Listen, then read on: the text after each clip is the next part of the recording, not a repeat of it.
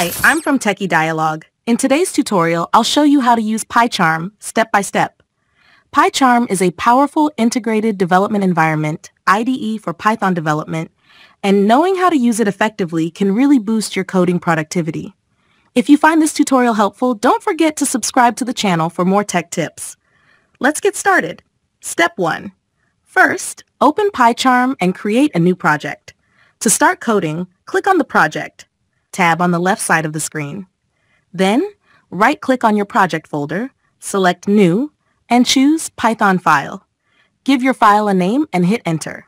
You're now ready to start writing Python code in this file. Step 2.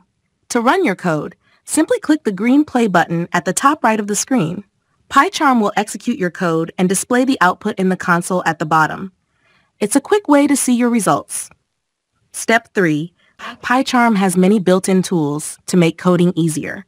You can explore features like version control, debugging, and testing by accessing the toolbar at the top. These tools can help you streamline your development process and catch errors quickly. Step 4.